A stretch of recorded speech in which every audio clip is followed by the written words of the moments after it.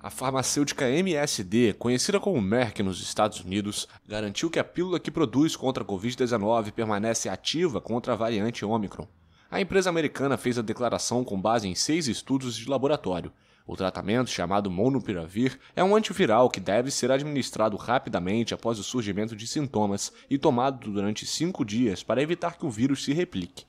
Esses estudos in vitro, realizados a partir de ensaios em células, foram feitos de forma independente por pesquisadores em seis países: Bélgica, Alemanha, República Tcheca, Polônia, Holanda e Estados Unidos. Os resultados mostram que o molnupiravir mantém uma atividade antiviral contra a Omicron, a principal variante em circulação no mundo. Agora, a eficácia contra a Omicron deve ser avaliada no marco de ensaios clínicos.